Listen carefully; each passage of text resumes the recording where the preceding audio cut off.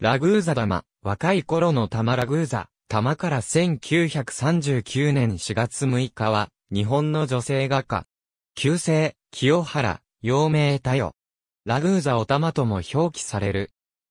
また、西陽明は、エレオノーラ・ラグーザ。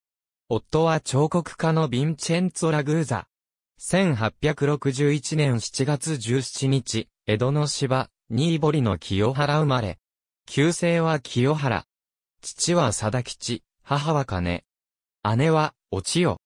芝、金杉の植木屋の次女で、幼名を、王代と言い、自ら、太代とも記した。若い頃から、英州という人に指示したと言われ、日本が、西洋画を学んだ。長俊とゴース。1877年、神戸美術学校で教鞭をとっていた、彫刻家のヴィンチェンツォ・ラグーザと出会い、西洋画の指導を受けた。また玉は、ヴィンチェンツォの作品のモデルも務めた。金杉小町と呼ばれ、ラグーザからモデルを壊れたのが、きっかけとされる。1880年に20歳上のヴィンチェンツォと結婚。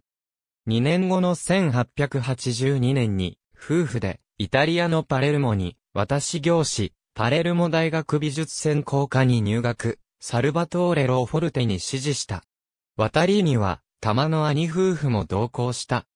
1884年には、ヴィンチェンツォがパレルモに工芸学校を開設し、玉は絵画家の教師を務めた。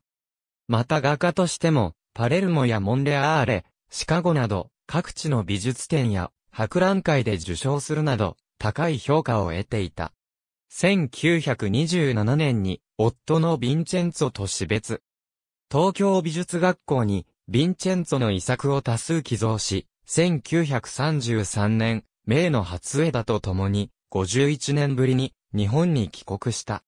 帰国後は画業に集中した。1939年4月5日、東京府東京市芝区の実家で脳一血を起こし、翌6日に急性、去年79。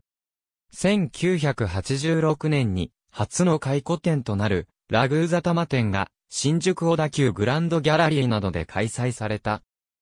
幼少の頃に残る最初の記憶としては、筋向かいにある薩摩藩邸が焼き討ちにあった際、屋敷から逃げ出した方たちが自分の家に逃げ込まないか父親が見回っていることを挙げている。また、ハエの羽化を初めて見た際、珍しさから3時間ほど眺めていた。新人家である父が自宅の庭に稲荷様を祀っており、お玉がイタリアから帰国した後も祭りが絶やされていないことを見て、大岡日本の片隅に、こうした昔のままの信仰心が残っているのは、何より嬉しいことでありました。と語っている。自宅近くにある龍和学校へ、姉のお千代と入学。読書とそろばんを習っている。